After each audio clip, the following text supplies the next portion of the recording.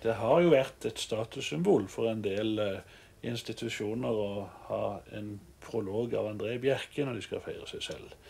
Og eh, når man ser deg fremføre disse, for du gjør det jo helst selv, så får man en følelse av at det er en veldig nær tilknytning mellom deg som person og det du har skrevet. Altså, jeg har hatt et slags prinsipp der at jeg aldri har tatt oppdrag om en prolog hvis det ikke dreiet seg om et tema jeg allikevel ville kunne ha skrevet et dikt om. Det er mange tilfeller hvor jeg har sagt nei, selvfølgelig. Når jeg har hatt, fått oppdrag, la meg si, som golfklubbens 50-årsjubileum Så jeg er ikke selv golfspiller og kan følge ikke skrive et dikt om golf.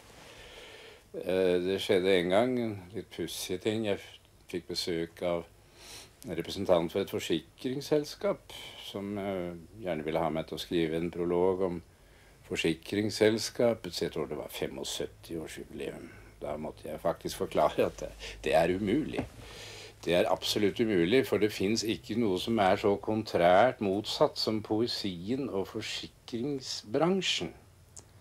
Det lar seg simpelthen ikke gjøre. Vel, han gikk da ut uh, Ideen var godt, eller jeg trodde han var godt. så snudde jeg meg mot min kone og uh, improviserte en liten sang om forsikringsbransjen. Siden jeg ikke kunne skrive en prolog, så hvorfor ikke Lila ta en sang på sparket? Uh, slik som jeg kunne ha skrevet et dikt, eller slik som det måtte ha vært.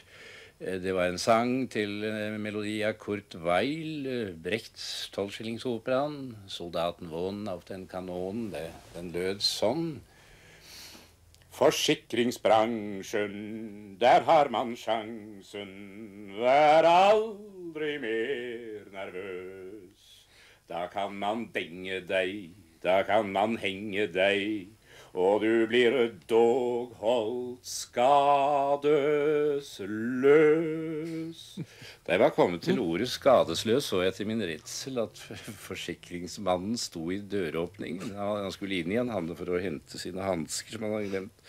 Jeg glemmer sent hans ansiktsuttrykk. Det ble det siste oppdraget jeg fikk fra forsikringsbransjen. Hva er det verste oppdraget du har fått og påtatt deg?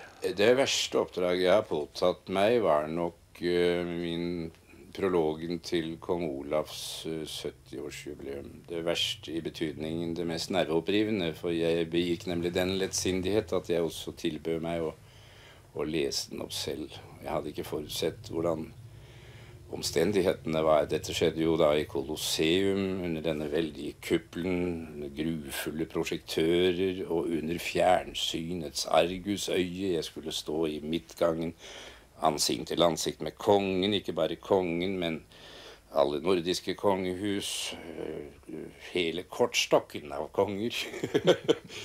det var forferdelig. og jeg tror jeg aldri i mitt liv har vært så redselsslagen som da dette øyeblikk kom, da jeg trådte frem i lyset der. Og jeg tenkte faktisk at dette blir mitt siste øyeblikk, altså.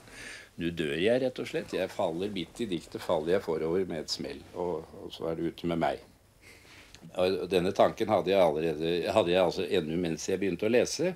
Men mens dette sto på i begynnelsen, så tenkte jeg ja, så dør jeg iallfall foran min konge. Jeg faller foran kongen. Og det slo meg også at det er i grunnen en ganske fin avslutning. Det er litt i stil med Kolbrunaskalden på Stiklestad. Og øh, denne tanken var faktisk så oppløftende at jeg, jeg overlevet, øh, som du ser.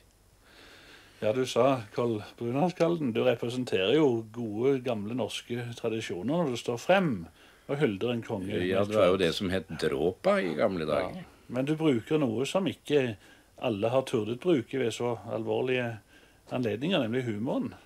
Og du fikk kong Olav til å både smile og le. Var det med velberådd hu at du blandet uh, denne ingrediens inn? Ja, sjelden har min hu vært mer velberådd. Ja, Før vi går løs på den nesten ni minutter lange kongeprologen fra den 1. juli 1973 eh, Den skulle jo også passe godt nå, for nå er det jo like før kong Olav fyller 75 år. Så vil jeg bare spørre deg om én ting. Ehm, når bør en forfatter slutte å skrive? Jeg tror man bør følge Alexander Kiellands eksempel, når du ikke lenger har lyst?